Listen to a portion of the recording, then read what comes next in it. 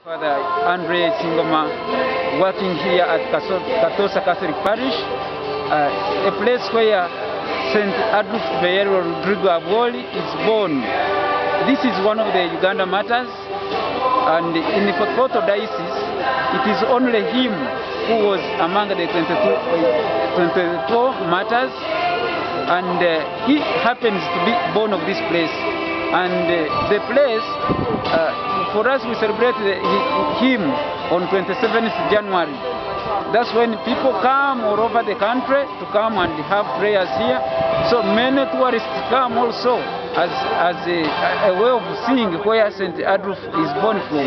So this is the place where, Cato- uh, where St. Adolf is born. And uh, many people come uh, from different uh, parts of Uganda and even uh, outside Uganda come and pray here for the, through his intercession. Yes. Okay, you talked about uh, the, uh, the road, this new constructed road increasing uh, the number of tourists. eh? Yes. And perhaps if I'm to ask, how many tourists have you been getting before the corona years? Because I know corona interrupted and the construction of this road. What was the number like annually?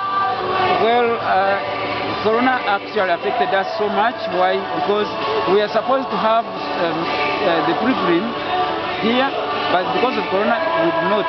However, some people uh, could come during the Corona time, come uh, with buses, and then uh, have their prayers here and then go. The, at, at, uh, I, I cannot exactly tell the, the exact number Uh, of people who before come. corona? Before Corona, Yes. they, they are they are in tens, thousands. There are so many. So, uh, I, I,